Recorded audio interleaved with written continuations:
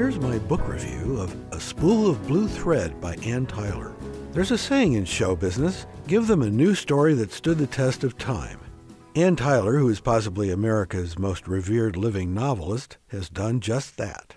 She's presented us with a new, fictional extended family with all their foibles and melodrama and placed them in the setting we know well from so many of her books in the community of Roland Park in North Baltimore and in a handcrafted old home with varnished hardwood floors, meticulously hung pocket doors, and vaulted ceilings.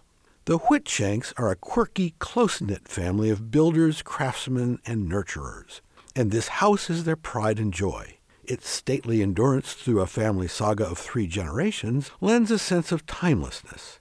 But Tyler's story is all about the passage of time and the influences our short lives have on each other.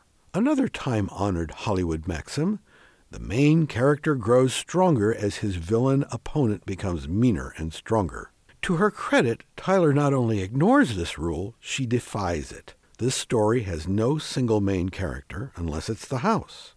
And, as in all of her other books, there are no vicious opponents. The engines of conflict were almost entirely within the family. Adversaries that seem the most obnoxious inconsiderate, and spiteful, ultimately show us their redeeming qualities. In every Anne Tyler novel, there's a conspicuous bad boy. In A Spool of Blue Thread, Denny shows up on the first page. And throughout the story, he's obnoxious, inconsiderate, and spiteful.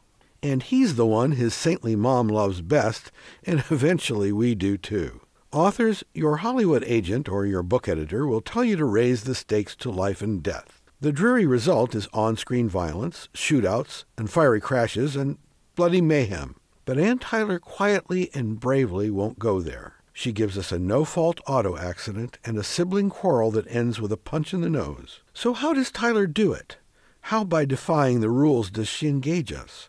Her narrative slows down to the pace of daily life. She gives us none of her own opinions, but a stream of meticulous detail about meals, clothes, woodwork, plants, weather, money problems, idle thoughts, and petty grievances. And in focusing on the marvels of the mundane, she helps us appreciate the joys of living our own ordinary and wonder filled lives. Gerald Everett Jones is the author of Bonfire of the Vanderbilts and host of the Get Published radio show.